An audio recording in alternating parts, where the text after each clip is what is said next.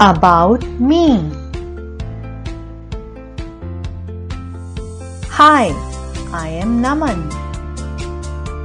I am a boy. My favorite fruit is mango. I like to play football. This is my mother. She is a teacher. This is my father. He is an engineer. This is Dhruvi. She is my sister. Dhruvi is a girl. She likes to dance. This is Pia.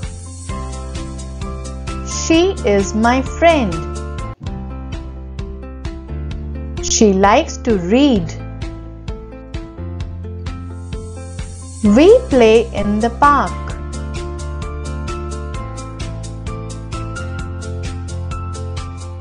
We are all different. Our name, how we look, what we like are all special in each one of us.